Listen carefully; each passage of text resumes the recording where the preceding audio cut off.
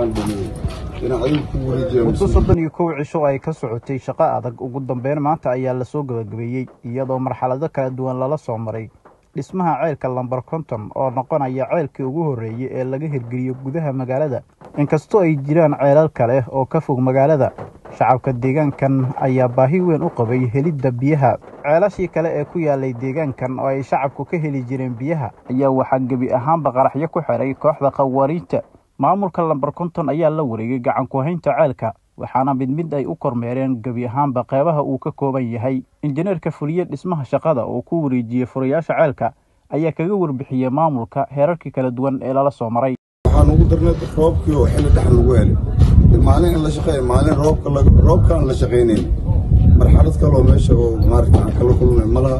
maamulka si wacan baynu soo dhaweeyeen iyo deegaanka waajibkeenna waa gudan wallahi ilaa iyo soddon maalmood annaga waxaan ilaalinayna inaan ilaan ka wareejino xilka inaan la isticmaalin. Inaan guddoomiyaha lambar konton oo uu garab taagnaa ku-xigeenkiisa ayaa guud ahaan bulshada lambar konton iyo deegaanada ku xiran ugu hambaliyey hirgelinta ceelkan isagoo sheegay in duruufo kala duwan lala soo maray wixii hadda ka bilowdana shacabka ay si toosa u heli doonaan biyaha islamarkaana tubooyinka loogu geeni doono guryahooda. Maalinba shaqaa la qabanaya eedoo dhiiqa eedoo rafaad eedoo cariiri badan ugu jiro. Waa injineerka culeys badan aad dareemayo laakiin waxaa isku dhiirida in maadaama deegaanka deegaankiisa asiyaadina waajibka saarnayo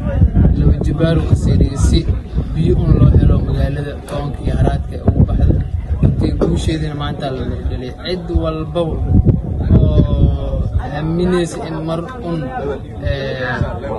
la qaboobi doono biyina la heli doono maanta waa maalin farxaday u tahay cid walbaba oo rajaxumo dareemaysana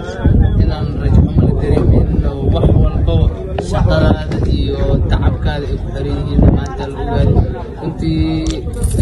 ammaanadan inaan maamulka laga rabaa hadduu ilaahay yiraahdo bulshadaasaana mas'uuliyad ku haynaa bulshadaasaana wax walbaba inay wax fidnan laga yaabo doorkana waa kana wuu shaqey doonaa maanta laga bilaabo wixii xoolo loogu talagalay meelihii ka cabi lahayeen waa nala soo tusiyey waa soo baroobeene dadka meeshii ka aroor lahay waa soo baroobeene meeshii tubooyinka waaweyn ay ka bixi lahayeeno magaalada xaafadaha la gii lahayena waa soo wada baroobeene marka shaqada sida hadda loo dhameeya bulshada ay